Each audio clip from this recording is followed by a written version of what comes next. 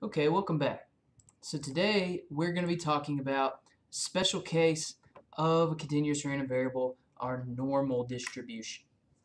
Alright, so our normal distribution is probably the most important distribution in all of statistics. We find that a lot of things go back to the normal, converge to the normal. We'll be using this a ton in the future. Okay, so the normal distribution is that classic bell curve that you're you're familiar with, bell-shaped, unimodal, symmetric curve, right? and it's defined by its parameters mu and sigma, its mean and standard deviation. Right? Typically it's denoted like this. Now some places you may see also denote it with its variance rather than the standard deviation. Okay, so just look out for that. Know, make sure you know if you're working with the variance or standard deviation. Okay, the PDF of our normal distribution looks like this, and the graph of our normal distribution looks like this. Okay, so we see that it's centered at mu, right, and the standard deviation tells us how spread out that distribution is. Right, but remember there's a there's a finite area under this curve equal to one.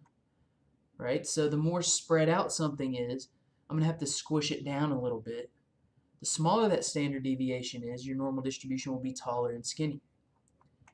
Okay, let's take a look at this PDF for a minute. All right, now, even for the more mathematically inclined, right, this this PDF is kind of a lot to deal with. Okay, so we already said that the normal distribution is very widely used, but the problem is it has a very messy PDF. Okay, so we have methods for kind of working around this, which we'll see. All right, so let's talk a little bit more about how the normal works. Now here are three different normal distributions. They have the same mean, different standard deviations. Okay, so what color distribution here has the smallest standard deviation? Well, that's the blue. Right? This purple color, this purple color here would have the largest standard deviation. Okay, here are three curves with the same standard deviation but different mu's. Okay, so we see mu shifts it along the x-axis. Sigma tells us how spread out or how maybe squished down the distribution is. Okay, so some other properties. We know it's symmetric around the mean. That means our mean is equal to our median and, and probably equal to our mode as well.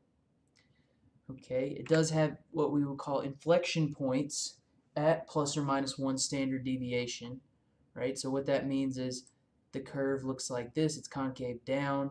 When we get to one standard deviation, it, that's where it turns concave up. Right? We know the total area is equal to 1.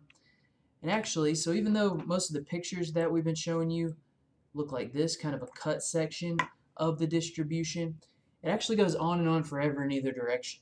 So it goes on and on forever to negative infinity and positive infinity. All right, we'll talk about why we usually just only use a cut section of that in a minute. Okay, so how do we find normal distribution probabilities? Well, our empirical rule is, is always a good place to start. Okay, so for the normal distribution, or really for any symmetric bell-shaped unimodal curve, we can say that 68% of our observations are within one standard deviation, 95% are within two, and pretty much all, or 99.7%, should be within three standard deviations. So in words, we can we can define it that way, but I think it makes a lot more sense when we see it visually. Okay, so this is our empirical rule visually. Now this can help us find some probabilities, right? Like if we want to know, okay, what's the probability of being a certain number of standard deviations away from the mean or, or something like that. Um, but the question is, so what, what happens if, you know, I fall somewhere between standard deviations? The empirical rule can give us a ballpark estimate of those probabilities, but how do we do that? Some ways we can find normal probabilities. Well, we can just use math. Um, we're going to have to use some kind of complicated math, though, if we want to do this. Because remember, we mentioned the PDF is kind of a lot to deal with. Well, you can integrate this PDF using polar coordinates or this identity here called the, the Gaussian integral. Remember the, the normal distribution is actually called the Gaussian distribution as well. Um, but most of the time, we don't want to do that, right? That's that's a lie. Okay, so the, the classic way of finding these things is this process called standardizing and using your z-table. Then of course we always have technology. There's there's tons of different normal distribution calculators out there. For now, we're going to focus on this. If we want to find the probability of falling somewhere on that curve, the first thing we need to know is where does our observation that we're interested in fall with respect to the rest of the distribution. So we've seen before that we can really only compare standard deviation when means are similar, right? But one thing we can do is we can put things in units of standard deviation, right? And then we can compare things from different distributions, right? And we can do that with z-scores, right? So we've seen z-scores before. So imagine the, the simplest normal distribution you can think of right, with the mean of 0, standard deviation of 1. So it turns out that z-scores can follow this standard normal distribution.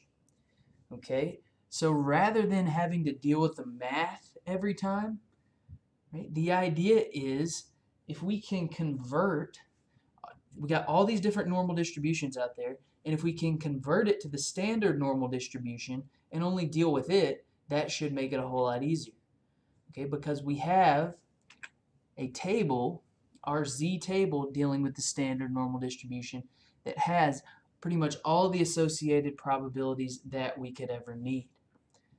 Okay, the first thing to note about our z table is that it gives us the CDF value. Okay, in other words, it gives us the probability of a z-score being less than some number. Okay, so if I ever am trying to solve a normal distribution problem and it's a less than problem, all I have to do is find a z-score and pull that value off the table. Okay, so what do we do for a greater than problem then? If we can just grab our probability off the table for a less than problem. Well, we know that we can just use the complement rule. Okay, so if I want to know the probability of z being greater than some number, all I got to do is take 1 minus the probability of it being less than. In other words, 1 minus the table value. Okay, so less than is easy. Just grab the table value. Greater than, I take 1 minus whatever's on my table. Right, 1 minus my CDF value. Now the trickier part is what about these in-between probabilities? What about something like this? Probability of being between two numbers. Okay, the table gives us the area to the left, right? It gives us our CDF value. So now there are other ways of kind of working around this and, and doing this. But just because of the way the table's set up, what we typically do is we find that larger area, in other words, the area Z2, right? Then we find the smaller area, the area associated with Z1, and we subtract it from the larger area. So if I take that larger area minus the smaller area, it should leave me with what's left in between. Okay, so we'll see examples of each of these types of problems going forward. Okay, so we know how to find these for z-scores, but unfortunately there's not a whole lot of things, just z-scores floating around out there in the universe. Okay, but there are a lot of different normal distributions out there. Okay, so the idea is we take all these different normal distributions, we convert or we standardize them using a z-score and that's our standardizing process. Right? So if we want to visualize this process, I take a value of x, right? I convert it to a z-score, and then I use my table to find a probability. Finding any kind of normal probability, here's kind of the steps that I think it's good to follow. Right? Always draw a picture first, and really with any continuous distribution. It's such a important thing to get down and then shade the area that you're looking for. All right. Then use that empirical rule to kind of ballpark your answer.